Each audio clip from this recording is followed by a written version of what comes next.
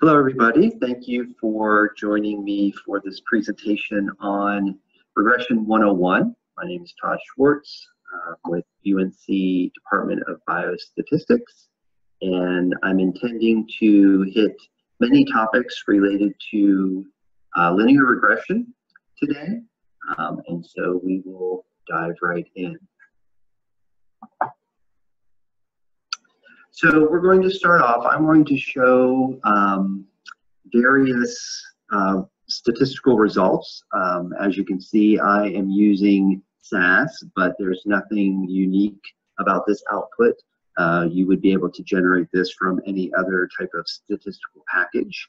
Um, and so I will try to point out the different results. And again, you should be able to replicate these um, whether you're using SAS or some other package. Um, and I'm going to be using uh, data from uh, JOCO OA, the Johnston County Osteoarthritis Project, uh, to illustrate these various methods. And you can see what's on my screen now um, is uh, a, a, listing of descriptive statistics for uh, a number of variables, uh, again, from this Johnston County osteoarthritis data set. Um, you can see that I have uh, information here on four different variables. Uh, I have uh, body mass index, uh, which is defined as kilograms per meter squared. I have participant weight in pounds. I also have participant weight in kilograms, and I have the participant um, age. And in this listing of descriptive statistics, you can see I have information on uh, the number of observations in this particular data set. Again, this is being used for illustrative purposes. Uh, you can see that I have roughly 330 observations. Um, because these Ns aren't all the same, uh, I do have some missing data. Uh, in terms of the mean values, you can see I have a mean BMI of just under 30, uh, mean weight in pounds of about 180, uh, mean weight in kilograms of 82, and a mean age of 61 years. Standard deviations are also given to provide a measure of variability as well as minimum and maximum values so that you can see the range that applies again for this particular data set.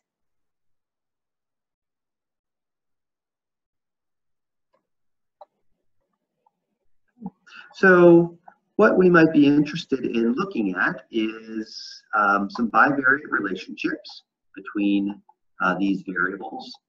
And what I'm showing here is something that might seem a little bit surprising.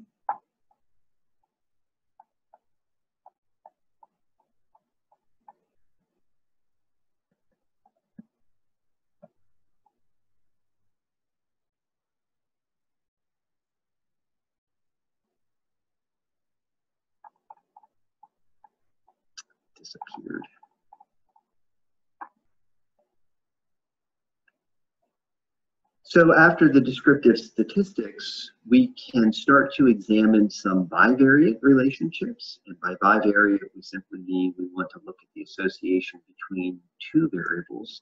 And for now, we're interested in looking at the bivariate relationship uh, for two continuous variables. Uh, one way that we can visualize that is through a scatter plot. And in this particular scatter plot uh, that I have on the screen, uh, it might look like um, a very distinct kind of pattern. And in fact, you can see that what we have is all of the data points uh, falling on a perfectly straight line. Um, and as we examine this, you can see on the y-axis here, I have weight, uh, participant weight in kilograms, and I need to scroll down so you can see the x-axis, but it is the participant weight in pounds. And so this is actually not a surprising result because I essentially have two variables that both represent weights just on different scales. Um, so again, I could have predicted that this scatter plot would look like this. Um, and when I have a scatter plot that looks like this, or if I have a pair of variables that just differ by, say, adding or subtracting a constant, or multiplying or dividing by a constant, uh, then I have the same information in both of those variables. And so we say that they are perfectly correlated. Uh, in this case, you can see that because I have a positive slope, meaning as one increases, so does the other, uh, we have a correlation coefficient of 1. Uh, if we had an inverse relationship, so that, for example, we had a negative slope, meaning as one increases, the other one decreases, this would be a negative slope, and we would have a correlation coefficient of negative 1 if all of those data points fell on a perfectly straight line. Uh, so this was not surprising, um, but you can see what would happen if you look at the bivariate relationship between um, two variables that are uh, essentially the same information just packaged in a different way. Here's a probably a, a, more interesting scatter plot and you can see here from the y-axis now I have BMI on my y-axis and I have weight on my x-axis and as we know BMI is related to weight but it also incorporates height. So we don't have a perfect correlation. We don't have all of the data points uh, falling on a perfectly straight line. However, we still have a pretty strong correlation.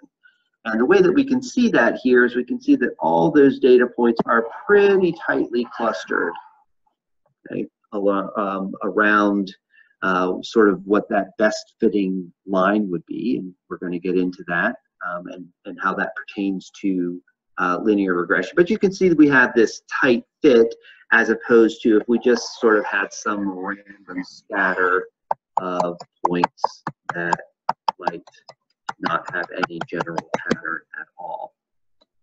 So again, this is visualization.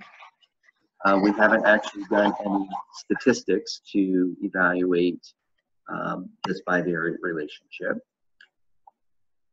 Okay. Here, what we've done now is again back to weight in kilograms versus weight in pounds, and we've just taken that same scatter plot and uh, superimposed that best fitting line. Not surprisingly, um, all of those data points fall precisely on that line. If we move to weight versus BMI, uh, or rather BMI versus weight, now you can see what that best fitting straight line would be. Um, and this is actually the simple regression line. So this straight line that goes kind of through the middle of the data um, is that best fitting line, our simple regression line.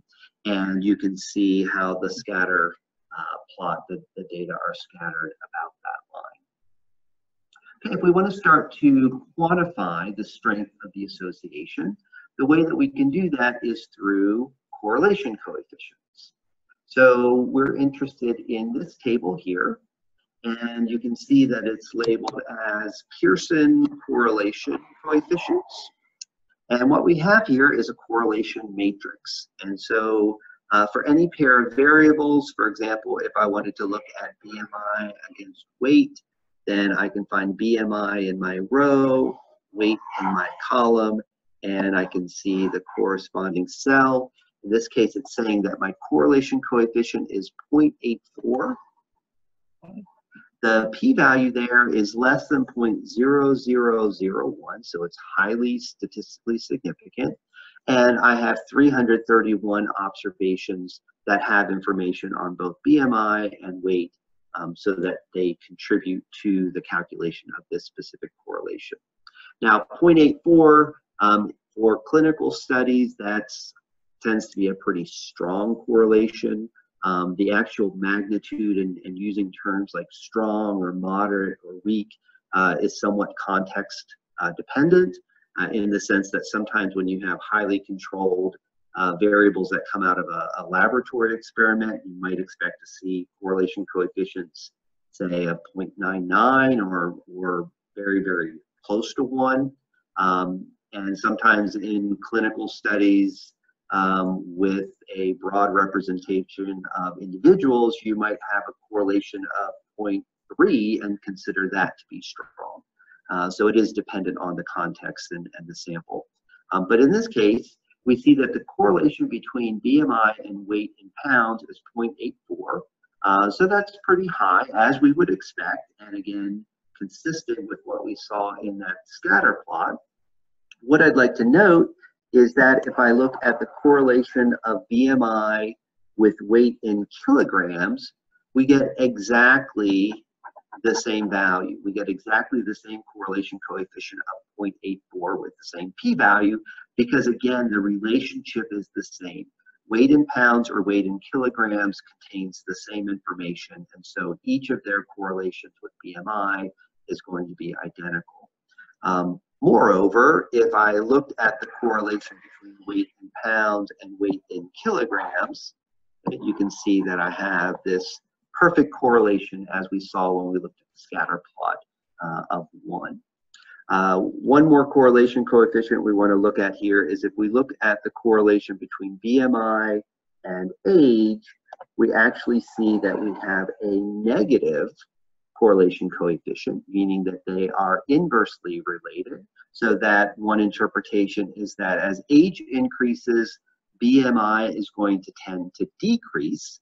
That coefficient is only uh, at negative 0.13. The magnitude is not that great. However, the p-value is 0.015, and so it is statistically significant uh, at the 0.05 level. And some of that has to do with the power that we have to detect uh, those magnitudes through the sample size.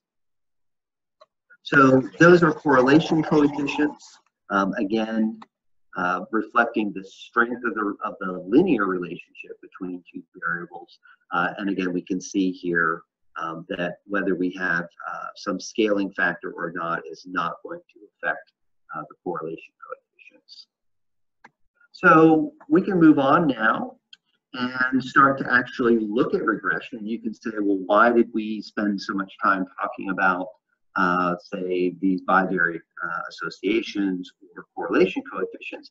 And that's because they are tied in with what we want to illustrate next using regression, which is what we want to call simple linear regression. And when we use that word simple, that implies that we have a single x variable, a single independent variable, a single explanatory variable um, those are all synonyms for um, what we're trying to do here. So we have uh, a single y variable or dependent or outcome variable, and we want to look at its relationship with a single x variable, um, again, explanatory uh, or independent variable.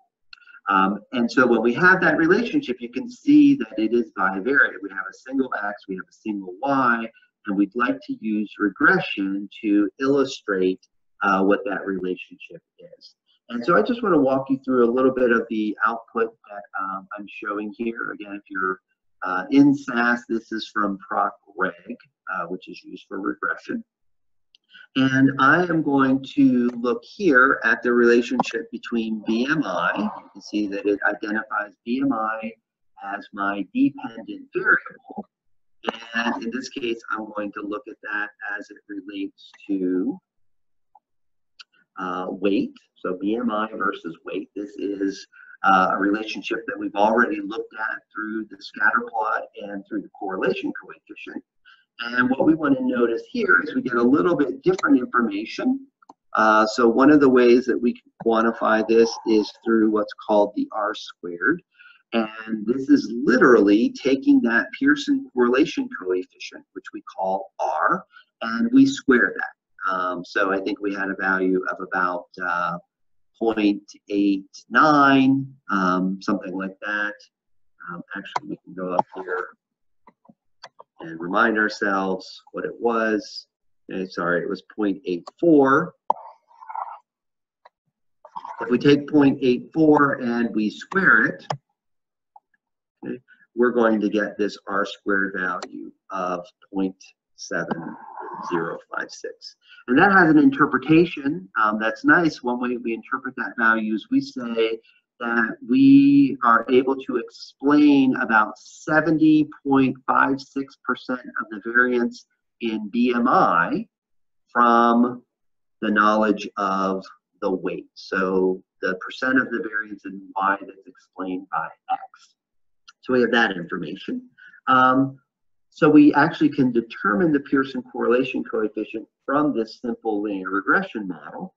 Also, I want to note that the p-value that we have here, which is the same as the p-value we have here, those are the p-value, that's exactly the same p-value that we would see from the correlation coefficient. Again, here, because they're all less than 0.0001, we can't tell whether they're the same, but if we did have some value to four decimal places, we would see that both of these p-values are exactly the same, and they would be exactly the same as the p-value that we saw in proc corr or um, for that correlation coefficient between BMI and weight. Now we get some other information here. Um, we get information on the slope.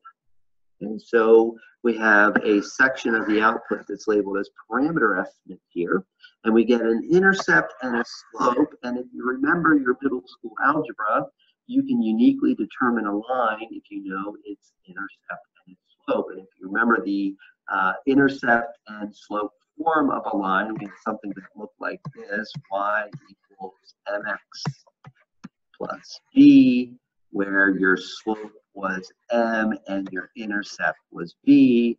Well, now we have an intercept, okay, the value is about 6 here, and, and the slope is about 0.13. Y would be a BMI, and X would be weight in pounds. Um, and so we can actually determine the slope of that line. This is the line that we looked at uh, when we superimposed that best fitting line to the scatter plot uh, between BMI uh, and weight. Okay, so we can actually estimate those values using regression. Um, and the way we would interpret that is we would say that for every additional pound in someone's weight, we're expecting their BMI to increase by about 0.13 units. Okay, so that is how we can interpret that value. It has a clinically relevant uh, interpretation. So let's uh, scroll through some of the additional output that we get here, and we can look at another uh, simple linear regression.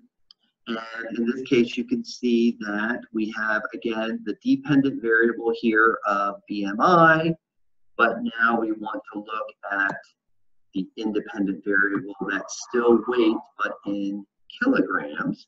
And hopefully, not surprising to you, that R squared is exactly the same as what we saw in the previous simple linear regression model, and that's because the correlation was the same. And again, we're going to take that Pearson correlation coefficient R, and we're just going to square that. So um, that 0.84, if we square that, again, we get uh, about 0.71.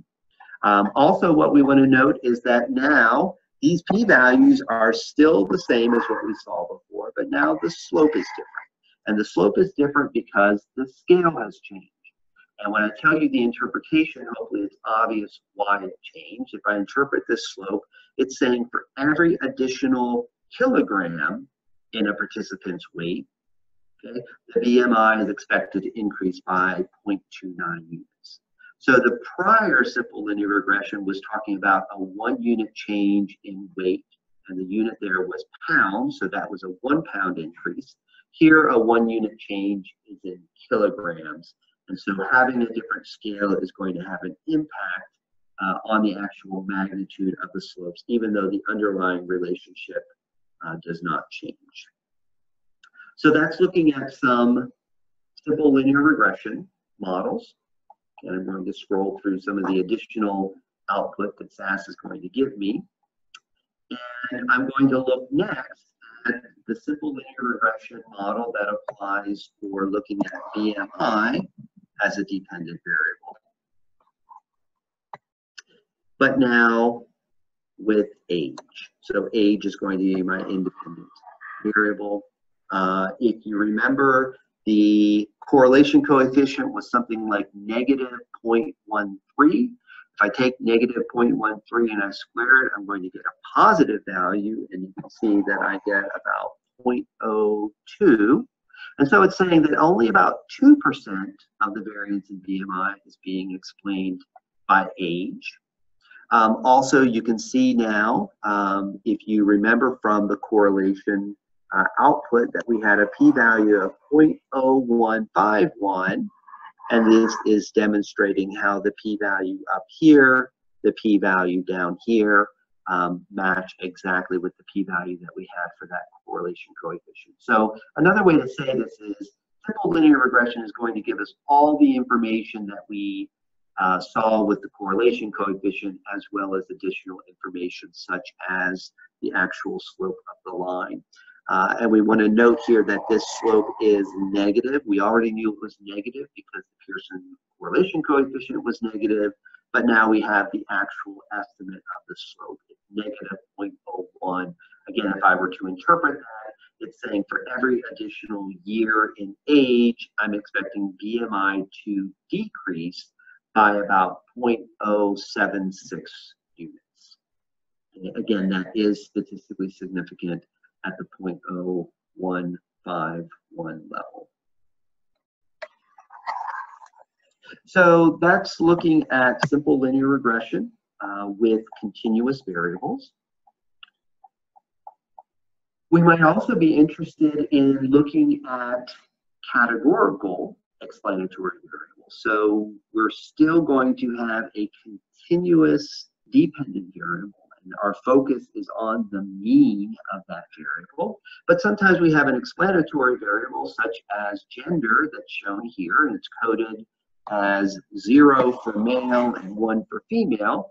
And we might be interested in seeing how that categorical variable might affect my dependent variable. So in this case, you can see from this frequency table that I have 130 males, I have 202 females. I can determine the mean weight. See, my analysis variable is weight, and I can look at how that mean is affected by gender. So in this case, my mean weight for males is about 190. My mean weight for the females is about 175 or 176.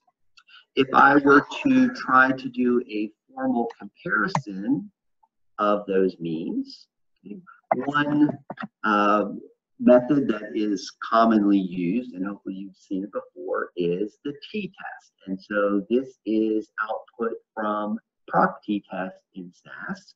And you can see from this output that it's going to give me uh, the two different genders. So again, zero was male and one was female. It's going to tell me those sample sizes. It's going to tell me those means. It's going to calculate the mean difference so it's saying that there's about a 14 pound difference uh, where the males were higher than the females. Still just descriptive statistics, but if I scroll down here, here is where I actually get my t-tests. And these are the t-values and the corresponding p-values. I actually have two different versions of the t-test depending on whether I'm willing to assume the variance uh, in the two groups are equal or not. And if I assume that they're equal, my t uh, statistic is about 3.3, and with 330 degrees of freedom, that gives me a p-value of 0.0012. Uh, if I'm not willing to assume that they're equal, I use um, this unequal variance version, um, which gives me a similar t statistic of about 3.3 degrees of freedom is adjusted for the fact that I have unequal variances and I have a similar p-value, 0.0009. Uh, either of these would lead me to reject my null hypothesis. My null hypothesis here is that the mean weight for males was equal to the mean weight for the females. So I would actually reject that uh, and conclude that the mean weight for the males is higher uh, than for the females. Okay? And again, the estimate of that was about 14 pounds, uh, which we saw up here of 13.98. Okay, so that's a t-test. Um, again, you might say, well, why are you spending time talking about that? Well, it's because we can also replicate that same analysis in a linear regression model. Um, and specifically in a linear regression model where we have an explanatory variable that is categorical and in the case of gender is actually dichotomous where we have two levels. Um, so you can see here um, that I have these two levels of gender, zero uh, and one, again, zero corresponding to the males. Okay, I can run this regression model, this simple regression model, and I have in weight as my dependent variable.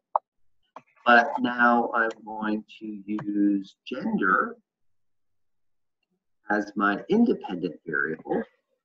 And uh, you may have seen this before. The way that we can incorporate a variable like gender with values of male and female into a simple linear regression model or a uh, a linear regression model is through what we call dummy variables or indicator variables. These are zero, one variables where I have to choose one of the levels and code it as uh, one and the other level and code it as zero. So I'm going to actually code male as one in this case.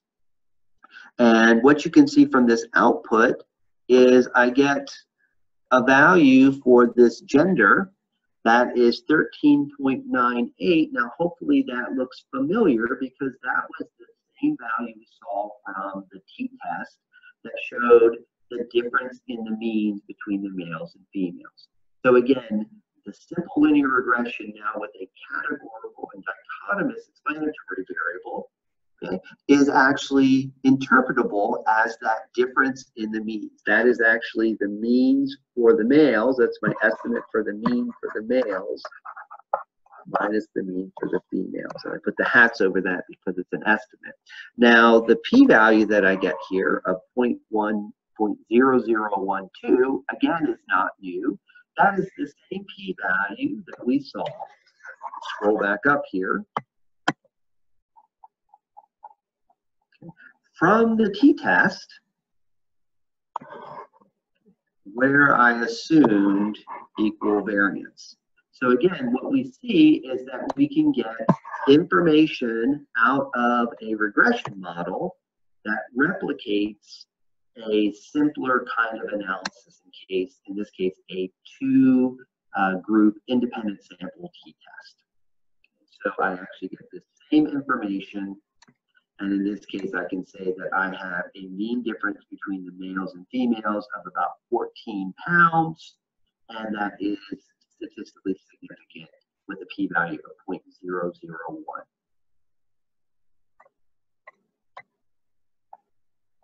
Okay.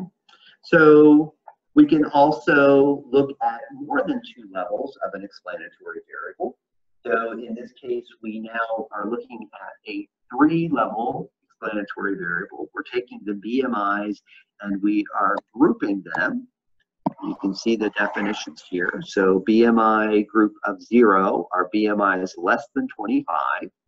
A BMI group of one corresponds to a BMI between 25 and 30.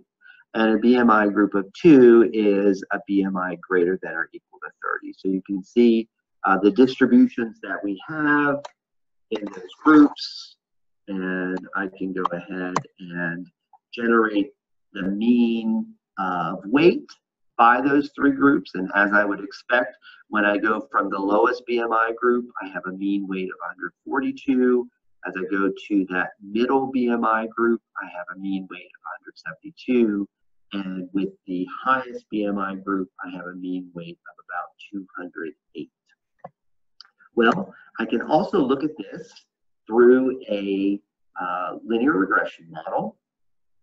Now the way that I can accommodate having more than two levels in that explanatory variable is I can actually have not just one zero one coding or dummy variable, but in this case I have two.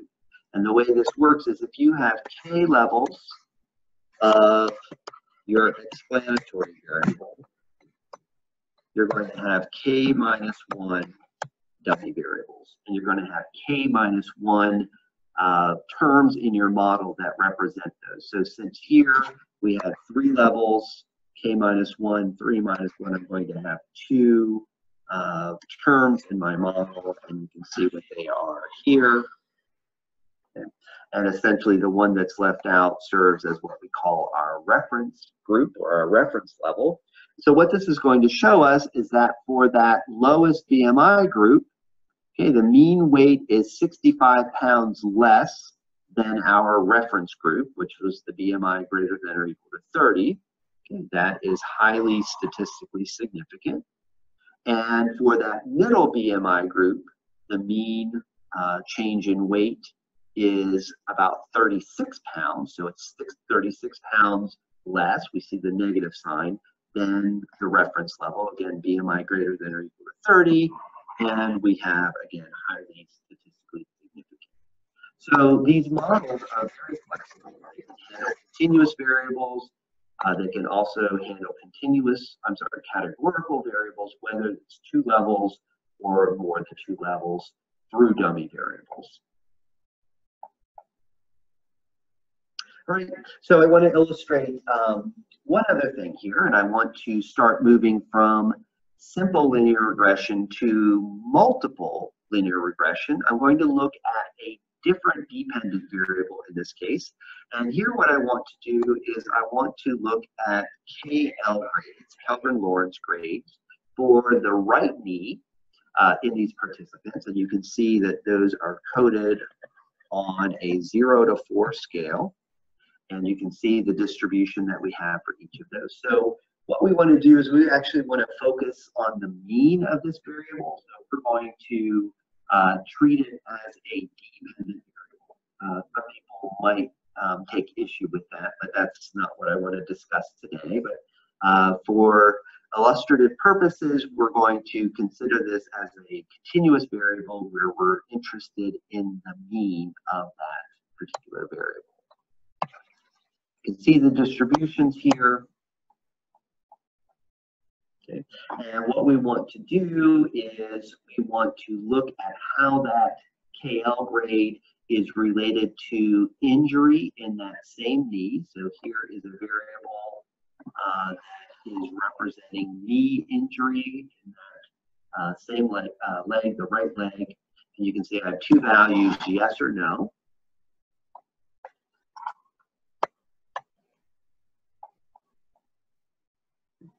Uh, in this case, I'm looking down here at this parameter estimate. I actually have a p-value that is greater than 0.5. It's about 0.6. So actually, I have a statistically non-significant result. And what it's showing me is that the mean KL grade okay, is only about 0.1 units left for those that did not have a knee injury relative to those that did. And that is so small that it is not statistically significant. I can't conclude that it's different from zero. So that's uh, the same thing that I would have seen if I had done a two sample t-test on uh, KL grade comparing those with knee injury versus those without. And um, I can look at, again, by knee injury. I can look at some other variables. In this case, I'm uh, just going to skim over that.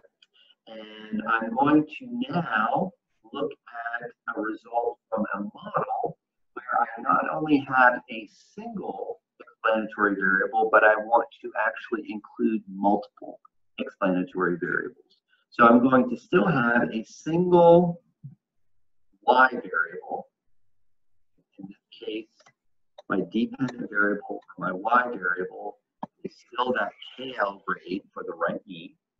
But now for the explanatory variables, I'm going to include not only the injury status of that knee, but I'm also going to include BMI, age, gender, and race. Okay, so I actually have one, two, three, four, five x's. Up till this point, we were only considering a single x variable or a single uh, explanatory variable. But uh, as we move to including more than one, from being simple linear regression to being multiple linear regression. Um, and so a lot of the concepts that we've already talked about still apply, but there are some important differences, and we're going to talk about those now. So one thing you want to notice is that when I am modeling these explanatory variables, okay, I can have a mixture of continuous variables like BMI and age, as well as categorical ones like knee injury status, gender, and race. So I can accommodate different kinds of variables within a. Uh, if we go back to this notion of the r squared, the r squared here is about uh, 0.17, and what that indicates now is that uh, about 17% of the variance in the KL grade is being explained jointly by those five explanatory variables. have a nice interpretation of that. And what I want to look at here is that these five explanatory variables are being modeled simultaneously. So I'm not doing them in separate models. That is an important distinction if I start looking at these actual terms that are in the model. And that's what's shown here. So for each of these five variables, I now have these parameter estimates as well as standard errors and test statistics and p-values. And essentially what I'm doing I'm testing each of these terms separately in terms of their association with the KL grade, my, my dependent variable. And what's important here is that when I do it in the context of a multiple regression model, I'm looking at the association of each of these terms with y but now I'm adjusting for all of the other x's. Or sometimes we say controlling for those x's, or sometimes we say holding those other variables constant. So what that allows you to do is to say, I want to tease out the effect of each of these variables above and beyond the impact of those other variables. So this is, this is a common way um, that we can control for things that we know are important uh, or maybe confounders, or we maybe want to treat as covariates and again, hold those things constant. Um, and so in this particular case, if I were to focus on the knee injury variable, what we can see now is that that p-value is still non-significant. So there's no significant relationship between knee injury or not um, and the KL grade. Okay, but now when I interpret this value, okay, which is saying that those that did not have an injury have a lower KL grade uh, on average by about negative, uh, 0.12 units. Okay, but what's important now here in this context is I'm now going to say that that is controlling for BMI, age, gender, and race. Okay. Likewise, I could look at this effect of gender okay, which corresponds to a gender of zero. So this is actually for the males. Okay, what this is saying is that the mean KL grade is about 0.06 units less for males than for females.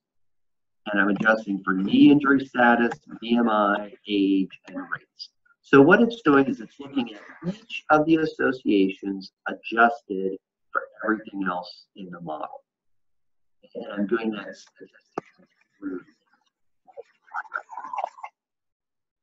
one last thing I want to show you here is that in this model, while I, I included BMI and age um, as they appear, sometimes we might also be interested in looking at scaled versions of those variables. And in this case, the model is the same, except now I have, instead of BMI and age, I have BMI 5 and age 10. And what that does is that says instead of interpreting this as a one unit in BMI and a one unit in age, meaning one year of age, I can actually scale these variables to make these estimates more clinically relevant. So what I'm doing here is I'm saying instead of for a one unit change in BMI, which may not seem to be that much, I can say for every five units in BMI, I can see what the impact is on KL grade. Okay. This p-value and this test statistic, those are going to be identical to when I had just a one unit change. So I'm not changing the nature of the relationship. I'm just making these uh, these slopes more interpretable. And likewise for age, instead of a one year change in age, I can now look at a decade change in age and see what that impact is on the KL grade. In this case, for every additional decade in age, I'm seeing a 0.3 increase in that KL grade. Um, again, just to contrast that, what we saw when we had the uh, actual ages. For a one-year increase in age, we see that it was only 0.03. So basically, we're going to take that times 10 and we'll get the same thing that we see down here from this model with the scaled versions.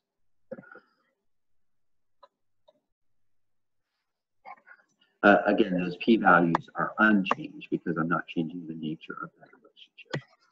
So that's all I wanted to cover today. And we covered a number of different topics. We looked at simple linear regression where you have a single y variable and a single x variable. Uh, we extended that to look at uh, categorical x variables. So x could be either categorical or continuous. Uh, and then we extended that to uh, multiple linear regression, where you can have any combination of continuous and categorical explanatory variables or x variables, but still with just a single y variable.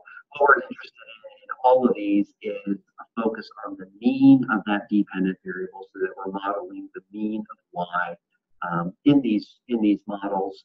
Um, and we've illustrated their connection with, say, Pearson correlation coefficients, um, with t-tests, um, and I hope this information has been very useful to you.